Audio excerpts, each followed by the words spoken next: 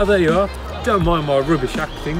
Um, right, I'm just out for a run this month. Uh, I'm doing um, about 10 miles a day, so I'm up to about 240 miles, something like that. And I didn't set out this month to run 240 miles. I, I originally thought I'd do three miles a day, which is about 186 miles. Um, and then I thought, why not round it to 200?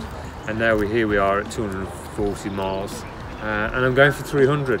I'm averaging 10 miles a day, so that should be doable with only a couple of months, a couple of days left in the month.